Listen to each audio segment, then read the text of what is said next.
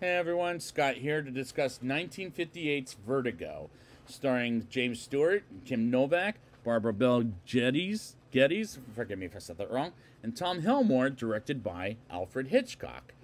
Now, I have seen this movie before, but what did I think of it is going to be the same as I think of it now.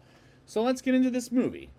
We get to opening credits on a woman's face, which is really freaky to watch this opening sequence as we start the movie with John Ferguson, aka Scotty, played by James Stewart, and a cop going after a criminal as he almost falls to his death, but grabbing Scotty's hand, the cop ends up falling down to death, which reminded me of the same episode of that 70s show I brought up last time, and I'm going to keep bringing that episode up per, per episode, except for Psycho, which I did do already and I'll talk about that at the end, where Eric tries to get his ball back, and Fez takes it and climbs on the roof, and Fez ends up falling down to it, and that's how he got on the wheelchair and like can wear a window, as that's all. This is all connecting from the episode of that 70s show, and we get Scotty on a cane, and he has one or more day to move normally, and getting rid of, rid of the cane as he quit the police force. And Scotty has vertigo from the first scene, and we hear what he's talking about in the first seven minutes of the movie. While at home with Marjorie Wood, oh, not his house, but the house of Marjorie Wood, aka Midge, played by Barbara Bel Geddes, who is taking care of him while drawing some art as they used to be engaged back in college days. And I like these two characters, and the cinematography is great to look at for the late 1950s. Midge gives Scotty a chair climb and looks up and down and gets vertigo as Midge catches him, and we live on move on to Gavin Elster, played by Tom Helmore, in an office where in San Francisco, which is where the scene is taking place, as well as this whole movie.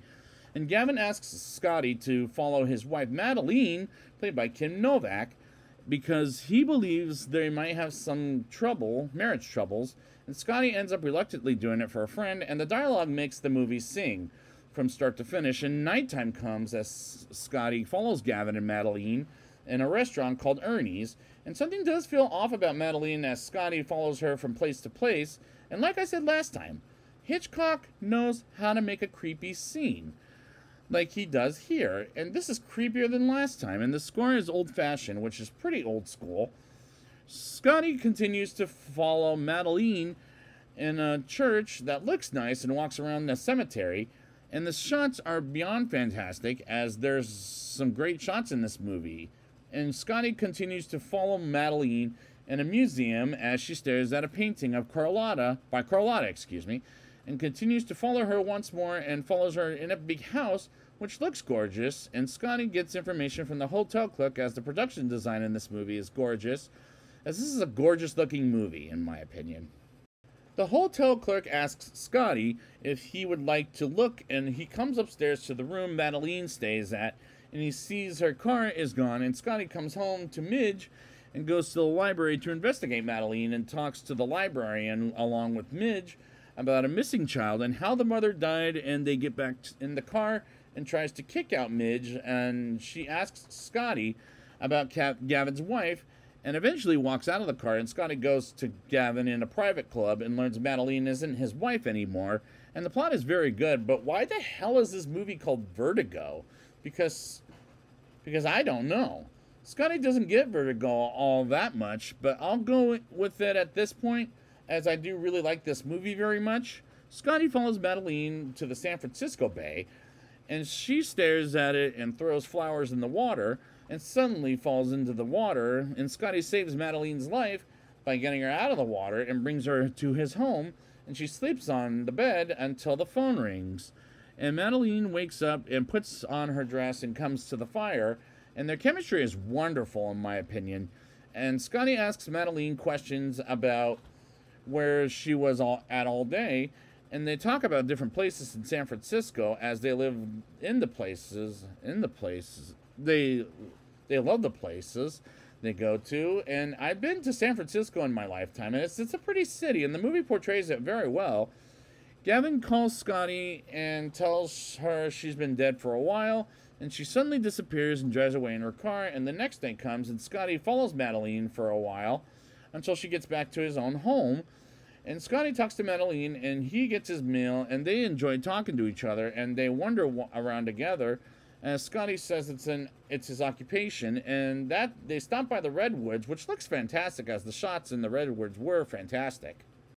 Scotty and Madeline hang out by the ocean, and they talk about their location, and she starts off to run, and he catches her, and he says he's got her. As nighttime comes, and Midge is painting in her apartment, and Scotty arrives and he brings up how he's been wandering as it's her on the painting that looks similar to the one at the museum, and he walks out saying that's not funny. After she said she thought about giving it to him, and she rips it apart after he leaves the building as he goes back to his apartment. And Madeline comes by and tells him about her dream as she doesn't remember where she's been to. And that's at a, like she might have short term memory loss and next day comes and they continue wandering around, and the locations are beautiful. Don't get me wrong, they are. They arrive at a barn where Madeline has been before, and Scotty tries to refresh her memory, and they start smooching while Madeline looks at another direction like it's too late, and she doesn't know she's in love with Scotty while Scotty is in love with Madeline.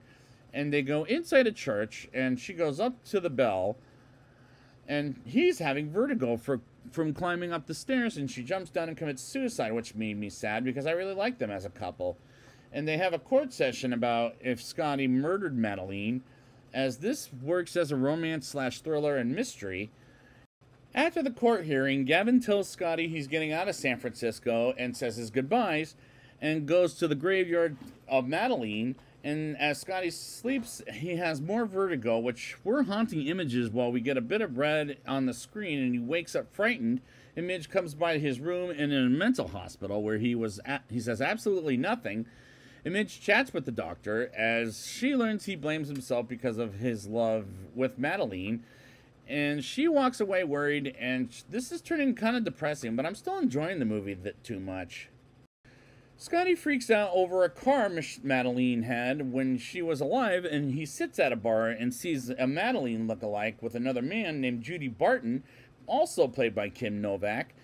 And Scotty thinks about getting this look-alike a pair of flowers as he follows her to the Empire Hotel. And he goes upstairs and asks Judy a couple of questions and learns about her, like she's from Kansas, for example as she yells at Scotty and she learns his lover is dead and apologizes for yelling at him. And Scotty asks Judy out to dinner and he starts to remember what happened to Madeline as Gavin throws someone else's body while Scotty was led to believe Madeline is dead. And Judy writes a note saying he found Madeline as she lied to him and she still loves him. And that was what the twist? I didn't see that coming right off the bat as that was a genius move by Hitchcock.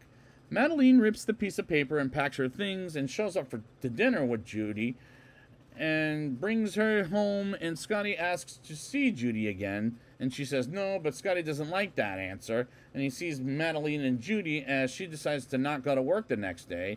And they walk around some beautiful locations and dance with the, one another and buys her a corsage or courage excuse me courage as well as trying on some gray suits, and their chemistry isn't as good as the chemistry between Scotty and Madeline is better for me. And he forces her to try on a gray suit and to make her look like Madeline, and Scotty comes off like an a-hole and controlling to her. And I don't like him in that scene, and them as a couple was a little strange to me. Scotty changes Judy's personality to make her like Madeline's personality, which is very forcing as he asks her to change her hair which is very disrespectful in general. And Scotty waits for Judy, and she comes back to the room and goes, and she goes in a different room and sees Madeline and Judy, and they smooch for a bit. And we move on to Scotty and Judy going out to dinner as he sees the red necklace on her neck, as it was on the painting, and he learns it's Madeline without feeling at her about, telling her about it.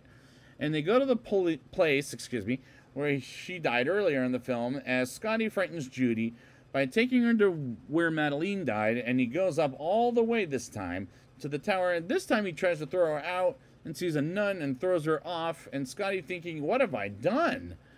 And the climax was a twist I didn't see coming, as it was one of the most satisfying climaxes I've ever seen as one of it's one of the best along with Psycho from the 1960s. And I'll explain why in a rating. I'll give this movie a 9.1 out of 10. I like the characters throughout the movie as the acting is well done and the cinematography is great to look at for the late 1950s, and the dialogue makes this movie sing from start to finish. This movie is creepier than last time and old fashioned like it was pretty old school, and I dig it. And the shots in this movie are fantastic, as there's some great shots in this movie from start to finish, as the production design looks gorgeous throughout, as this is a gorgeous looking movie. The plot is very good, and despite I like this movie very much, but why the hell is this movie called Vertigo? As the main character doesn't have it too much, like only a few times, but because it's a great movie, I'll go with it. And it, it is a strong recommendation, but not as strong as Psycho from 1960. And director Alfred Hitchcock does a great job with the movie, as the chemistry between Scotty and Madeline is wonderful in the movie, in my opinion, and it portrays San Francisco quite well.